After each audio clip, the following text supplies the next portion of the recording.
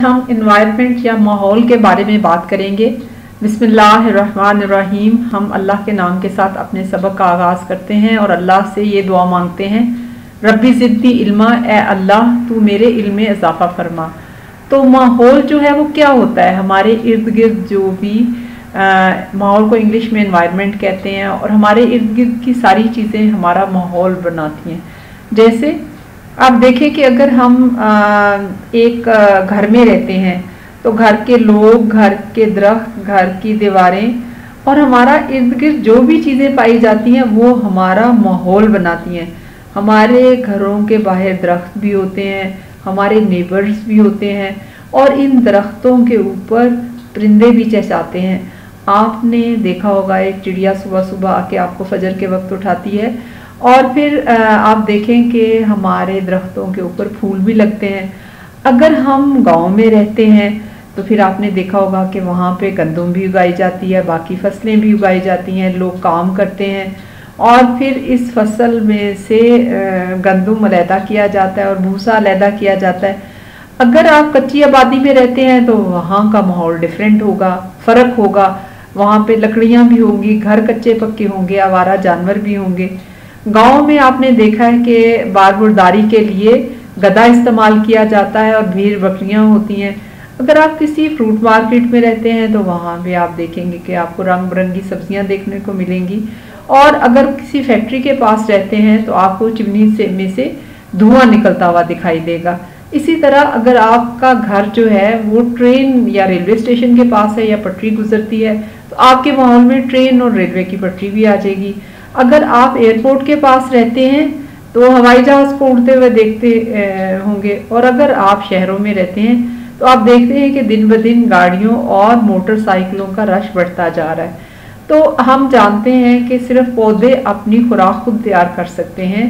बाकी सारे जानवर जानदार जो हैं, जिनमें इंसान भी शामिल है, अपनी ज़रूरियात ज़िंदगी के लिए एक अपने माहौल से हासिल करते हैं और एक दूसरे के ऊपर इसार करते हैं।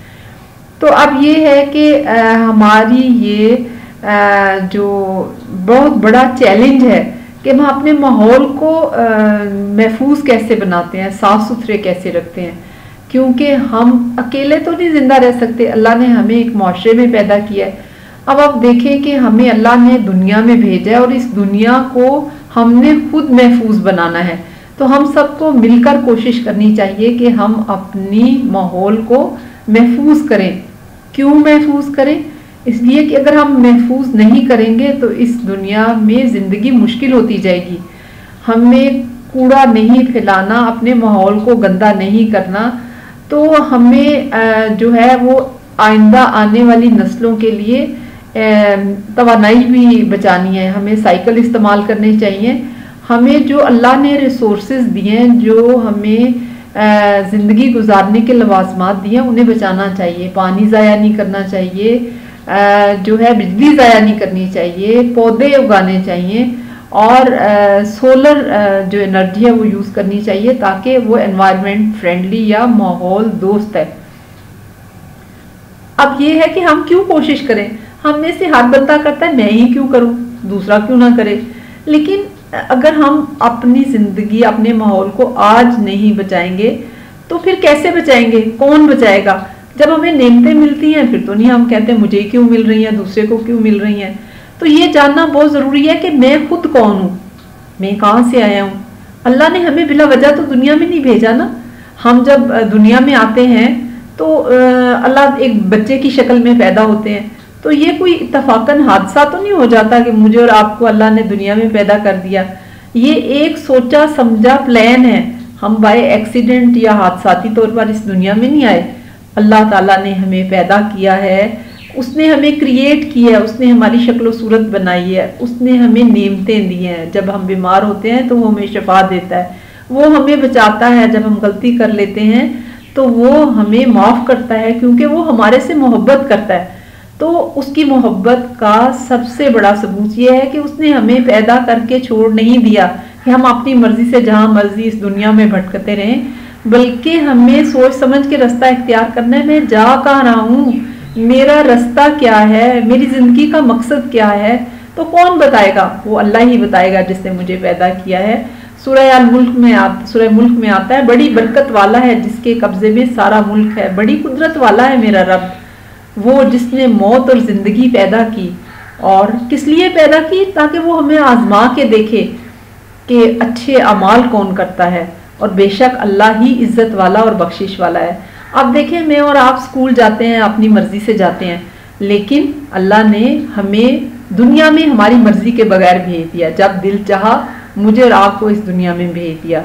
दुनिया के जिस मुल्क में चाह, हमें वहाँ पैदा कर दिया। जैसी चाहिए हमारी शक्ल बना दी। हम स्कूल या यूनिवर्सिटी में तो खुद पेपर देते हैं ना, लेकिन यहाँ पे हम हर वक्त टेस्ट में हैं, हमें आजमाया जा रहा है। हम अच्छे काम करते हैं या बुरे काम करते हैं, दो फरिश्ते जो हैं, वो हमारे पास बैठे हुए सारा काम रिकॉर्ड कर रहे हैं और टिक लगा रहे हैं मैं कौन सा काम गलत करता हूँ, कौन सा अच्छा करता हूँ। तो आजकल तो मूवी बनती है रिकॉर्ड होती है, ये बातें समझना और ज़्यादा आसान है कि हमारी भी ज़िंदगी की एक मूवी बन रही है। और वहाँ तो इन्वेजिलेटर होता है या एग्जामिनर होता है, कहता है, नकल ना मारो। लेकिन हम यहाँ नकल नहीं मार सकते। अल्लाह के पास ऐसे फरिश्ते ऐसे गैजेट्स हैं जो हमारी हर हर चीज़ कर रहे हैं। और फिर हमें उसके बाद डिग्री मिलती है। हम डिग्री लेके बड़े खुश होते हैं। तो अल्लाह ने आखिरत का दिन भी इसीलिए रखा है कि मैं अगर नेक अमल करूँगी तो मुझे दुनिया आखिरत में जन्नत मिलेगी और खुदा ना खास्ता। फिर आपको पता ही है। तो इसलिए जो इस दुनिया में टाइम है, उसको अपने अच्छे अमाल के साथ संवारे। रोज़ की भी एक नेकी जो है, वो सोच समझ के की जाए। तो लेकिन नेकी वो नहीं है जो मैं और आप समझें। नेकी वो है जो अल्लाह ने बताई है।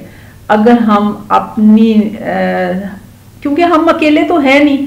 उस कोई करे ना करे, मैंने तो अच्छा काम ज़रूर करना है। क्योंकि मैंने नेकियों में सबकत लेके जानी है। मैंने अल्लाह के आगे अपने नंबर ज़्यादा बनाने हैं। और ईमान तो है ही, जैसे एक दरख्त को पानी देते हैं थोड़ा थोड़ा रोज़ पानी दें। तो ये जो वीडियो है, आपकी खिदमत में पाकिस्तान होम स्कूल की तरफ़ से पेश की गई है।